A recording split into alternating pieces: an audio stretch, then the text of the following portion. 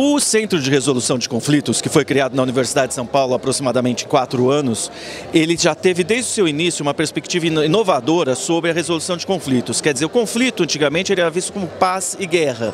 E hoje, o conflito a gente pensa na prevenção do conflito para que ele não ocorra. É, Nessa, uh, nesse âmbito, nós criamos uh, três linhas de, de, de, de, pesquisa e atuação. Uma delas é a inovação na segurança cibernética, a outra é o empreendedorismo e a entrada à iniciativa privada, e a última é a inclusão e equilíbrio de gênero. Então, quer dizer, nós estamos pensando na resolução de conflito, mas na manutenção da paz. Né?